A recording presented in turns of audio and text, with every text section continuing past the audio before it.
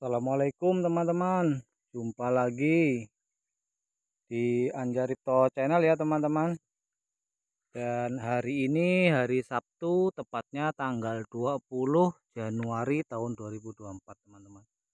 Dan di sini usia cabai cakra lokal kita sudah 39 hari setelah pindah tanam. Dan alhamdulillah seperti ini dan nampak cabang Y dan kelihatan bunga ya teman-teman bakal bunga.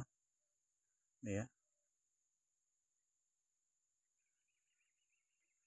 Alhamdulillah teman-teman untuk pertumbuhannya terbilang normal ya atau maksimal teman-teman. Ini cabang Y sudah kelihatan dan ini ada cabang keduanya. Kelihatan bunga juga ya teman-teman. Dan ini yang belum kita bersihkan tunas airnya untuk yang kedua kalinya ini sudah pernah kita bersihkan satu kali namun tumbuh lagi teman-teman ya. Ini kita bersihkan ya. Seperti ini teman-teman. Jadi kita cuma memelihara batang utama teman-teman. Jadi kita bersihkan seperti ini ya tunas air kita buang semua teman-teman. Seperti ini ya. Ini daun bawangnya teman-teman sudah mulai hidup juga. Alhamdulillah kembang sarinya teman-teman ini. Ini nanti kita bersihkan semua ya tunas airnya teman-teman.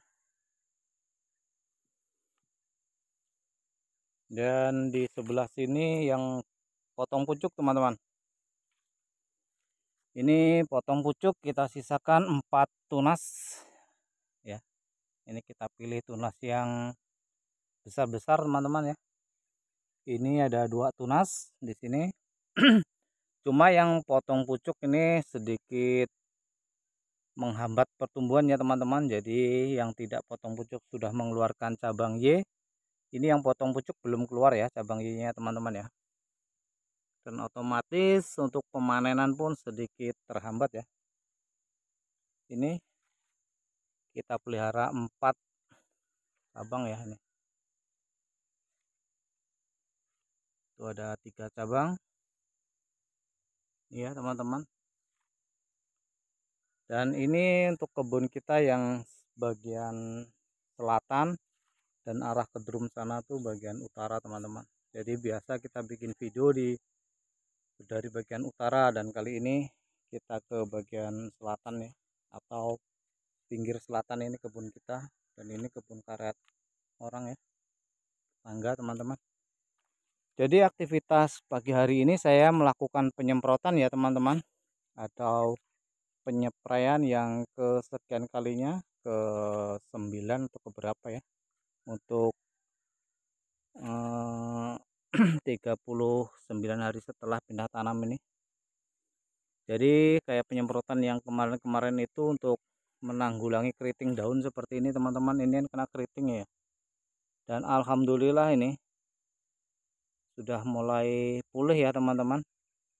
Ini juga teman-teman ini sudah mulai pulih. Jadi ini untuk pencegahan lah kelanjutan ke depannya agar tidak keriting lagi ya teman-teman karena kita lihat di sini banyak kutu tripnya teman-teman. Kita lihat di ujung tuh ada kutu trip. Dan ini ada kelihatan cuma satu teman-teman. Jadi di kamera pun kurang jelas ya. Ini bekas keriting teman-teman. Alhamdulillah udah mulai nampak pulih ini ya. Ini yang sehat ini alhamdulillah untuk cabangnya. Ini cabang Y pertamanya ada dua bunga teman-teman. Mudah-mudahan jadi ya. Jadi untuk perawatannya menjaga bunga juga agar tidak rontok nih ya teman-teman. Cuma untuk nutrisi penyemprotan kita sendirikan nanti ya. Karena kalau terlalu banyak campuran takutnya kurang maksimal ya teman-teman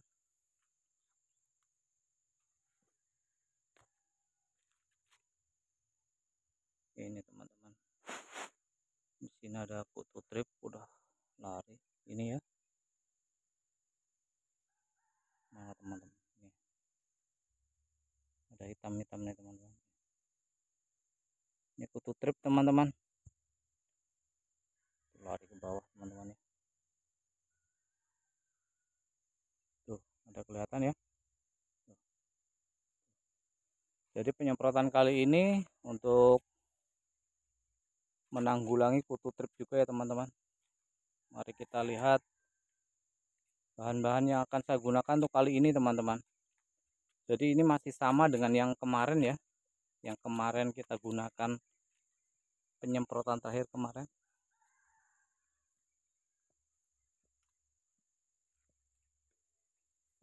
Dan ini bekas semaian kita udah dicabut ya. Ada kawan yang memerlukan.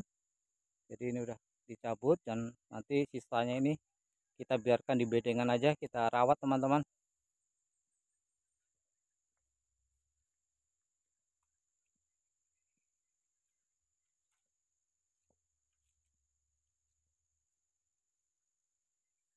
Dan di sebelah sini ini yang beda usia kurang lebih seminggu ya bedanya teman-teman ini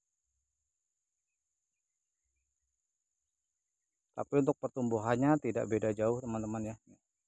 Dan mengeluarkan bakal bunga juga.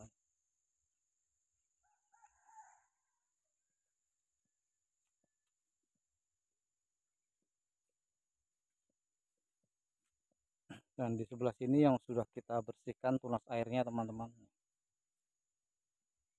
Kelihatan bersih tidak ada tunas airnya ya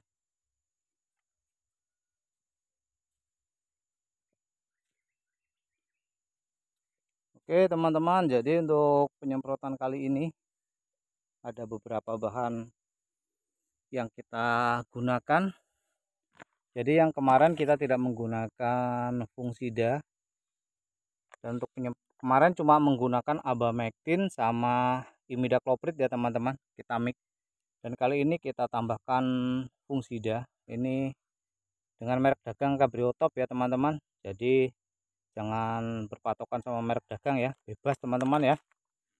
Dan di sini ada dua bahan aktif teman-teman. Piroksistrobin dan metiram ya. Ini metiram 55% dan piroksistrobinnya 5% teman-teman. Jadi ini fungsi sistemik ya. Ini bisa untuk pengobatan dan untuk pencegahan juga teman-teman. Dan ada JPT nya juga ini ya. Jadi tujuannya ini untuk pencegahan bercak atau yang sudah terkena pun bisa terobati ya teman-teman. Untuk bercak daun busuk batang juga bisa ya. Dan di sini untuk cabai ini ada rekomendasinya cabai itu untuk bercak daun seperti ini ya penyakit antraknosa juga ya teman-teman. Ini ya untuk cabai 0,5 sampai 1 gram per liter air. Jadi di sini saya menggunakan dosisnya 3 sendok makan teman-teman ini. Untuk satu tangki 16 liter kita kasih kabriotopnya 3 sendok makan. Dan kemudian untuk mengatasi trip dan juga kutu kebul ya karena ada trip dan kutu kebul juga teman-teman. Itu yang menyebabkan keriting juga ya. Keriting. Kita yang pertama menggunakan bahan aktif imidacloprid ini teman-teman. Dari merek dagangnya ini top door. Dan banyak merek dagang lain teman-teman. Silahkan teman-teman bebas memilih. Dan ini sasarannya sangat luas teman-teman. Bisa untuk kutu-kutuan juga ya. Ini ada tungau trip juga belalang. Bisa juga teman-teman. Ini ya untuk cabai ya. Sama trip kutu daun. Ini bisa untuk lalat buah juga ini dosisnya 0,5 sampai 1 gram per liter. Jadi di sini saya menggunakan top doornya ini atau imidacloprid 2 sendok makan ya teman-teman. 2 sendok makan. Dan untuk insektisidanya kita mix teman-teman. Ini dengan bahan aktif abamectin ya. 36 gram per liter. Di sini saya menggunakan merek dagang Base Grimax. Ini terbilang agak murah. Cuma dosisnya pun lumayan tinggi ya teman-teman di sini. Jadi ini ya. Ini untuk cabai bisa untuk ulat gerayak kutu daun hama trip. Jadi untuk hama trip ini sangat tinggi di sini. 1,5 sampai 2 mili per liter.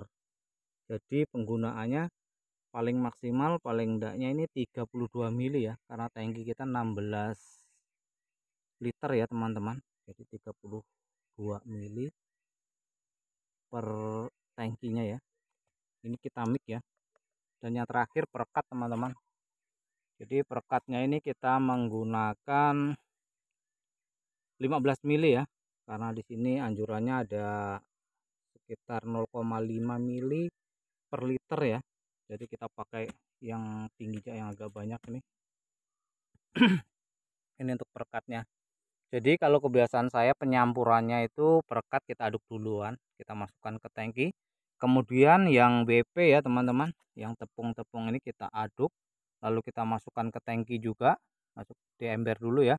Kemudian yang terakhir kita yang ini yang cair ini teman-teman yang EC ya. Ini karena larutannya agak pekat. Kita aduk baru kita masukkan ke tangki dan kita penuhkan dan biasanya kalau ada campuran nutrisi nutrisi yang paling belakangan ya kita campurkan baru kita masukkan ke dalam tangki. Jadi ini semua tadi ya bahan-bahan yang untuk kita penyemprotan hari ini teman-teman. Dan alhamdulillah untuk pertumbuhan cabenya terbilang maksimal teman-teman ya.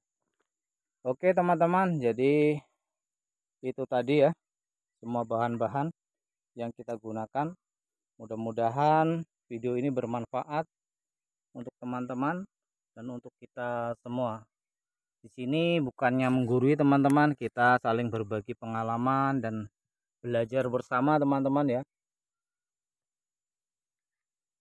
Oke teman-teman cukup di sini dulu video kali ini dan apabila video ini bermanfaat silahkan like, komen, dan subscribe. Akhirnya assalamualaikum warahmatullahi wabarakatuh.